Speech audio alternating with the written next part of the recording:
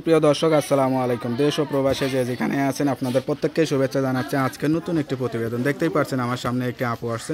ছোট্ট একটা বাচ্চাকে নিয়ে আসলে বাচ্চার কি হয়েছে বা সে আসলে কি বলতে চাই চলুন কথা বলে জানার চেষ্টা করি। আপু আসসালামু আলাইকুম। আপু আপনার নাম কি? নাম পিঙ্কি। পিঙ্কি। বাচ্চাটা কার? আমার।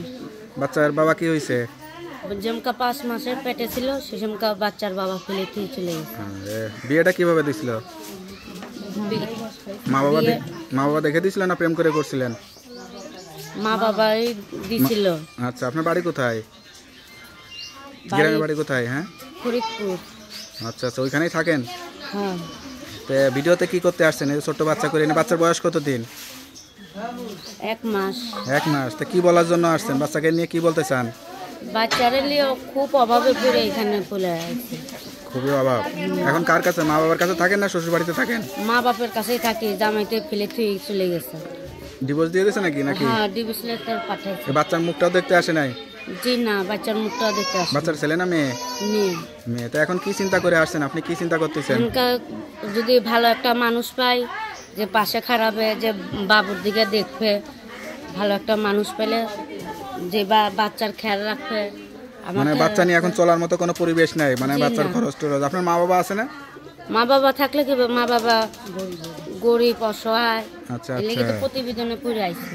আচ্ছা কেমন লাগতেছে? আসলে এখন এই বাচ্চাটা নিয়ে আপনি এটা আপনি তো আপনার বয়সও তো বেশি না মনে হয়। তো আপনি একটা বাচ্চার মা হয়ে গেছেন কেমন লাগে আসলে? এখানকার কি কি করব? প্রতিবেদনের সামনে আইছে। যদি কোনো ভাই যদি হেল্প করে সহযোগিতা করে বাবু বুকে দুধ পায় না যদি কোনো ভাই যদি বুকে যে আমার পাশে ব্যবস্থা করে সেই সেই আশা করে আসছেন তাই না? হ্যাঁ। আচ্ছা আচ্ছা। তা এখন মনে হয় কি যে স্বামী আবার আসবে বা খোঁজ খবর নেবে এরকম না স্বামী তো বাচ্চার মুখ দেখতেই আসলো না। স্বামী ডিভোর্স লেটার পাঠিয়ে দিছে। এটা তো আসলে একটা পাষণ্ড স্বামী। এত সুন্দর একটা ফুটফুটে বাচ্চা হয়েছে তাকে দেখতে আসে না। তা মানে আপনার কোনো কি ভুল ছিল? সেটা মনে হয় যে আপনার দোষে চলে গেছে স্বামী? জি না আমার কোনো ভুল নাই। আপনার কোনো ভুল নাই? আচ্ছা আচ্ছা। স্বামী স্বামীর কি কারণ? আসলে কি কারণ হইতে পারে? আপনার কি মনে হয়? আমার মনে হয় কি যে আর এক সিরিয়াল বিয়া শাদি করে ফেলছে। আচ্ছা আচ্ছা আচ্ছা। তো যাই হোক এই যে কষ্টের মাঝে আসছেন এত কষ্টের কথা শুনে আসলে কি বলবে ছোট্ট বাচ্চাকে নিয়ে আসছেন। তা অনেকেই যদি যোগাযোগ করতে চায় তা নাম্বারটা দেওয়া যাবে নাকি? হ্যাঁ নাম্বার দেওয়া যায় নাম্বারটা কি মুখস্থ আছে? না। তা নাম্বারটা আমার কাছে দেন আমি দেখে বলে দিই। হ্যালো বিয়ার শুনতে পারলেন এক অসহায় গরিব ঘরে মেয়ের জীবনের গল্প। সত্যিকার একটা অসহায় দেখতে পাচ্ছেন কতটুকু একটা বাচ্চা নিয়ে এসে প্রতিবেদনে আসছে।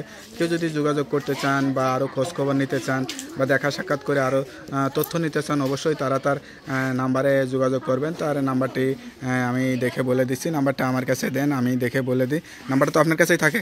হ্যাঁ আচ্ছা আচ্ছা। তারপর নাম্বারটি হচ্ছে নাম্বারটি হচ্ছে zero one nine zero five three double five two one four নাম্বারটা খোলা থাকে তো? নাম্বারটা আমি আবার বলে দিচ্ছি নাম্বারটা হচ্ছে zero one nine zero five three double five two one four যাক নাম্বারটা খোলা রাখবেন আর যত কষ্ট হোক নামাজ কালাম পড়ে আল্লাহর কাছে দোয়া করবেন ঠিক আছে আপু? তো ভালো থাকেন দোয়া করি আসসালামু আলাইকুম।